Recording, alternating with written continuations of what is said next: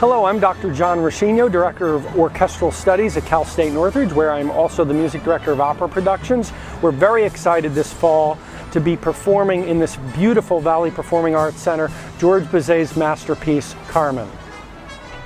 As you can imagine, producing an opera is no easy accomplishment. Here is a sneak peek of what goes on behind the scenes as we prepare for this new production of a timeless classic.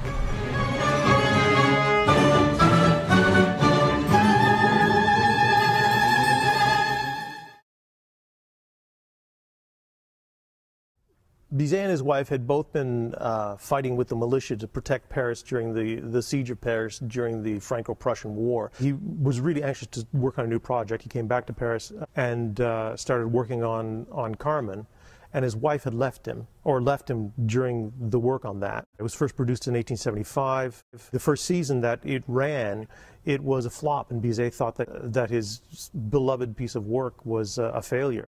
Uh, he died in the interim year, and then the following season it was a huge hit because it was a, a beginning of a new phase of of taste in in theater in opera at any rate, where the characters were much more realistic, the uh, uh, the drama was much more passionate and down to earth. The characters were were of, of real people rather than larger than life, and uh, the, the audiences at the time just didn't know what to do with it until the following year when um, it became a huge hit. But sadly, of course, Bizet had never seen that. Bizet has always been fascinating to me.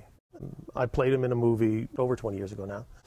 And I remember when I first researched him, just being fascinated by this man who had had a middling career for quite a long time and then, whenever there is an emotional upheaval in his life, he would come out with these remarkable pieces of, of music that just hit straight to the heart. Because of the situation that he was going through with his wife, I think, at the time, he opened up his heart a great deal. And you can hear that in the music. The more I listen to it, the more I hear the, the struggle that he's putting into the characters. I can hear the emotional strains and the undercurrents of the music now. And it's not just in the large, you know, party pieces, not just in the habanera.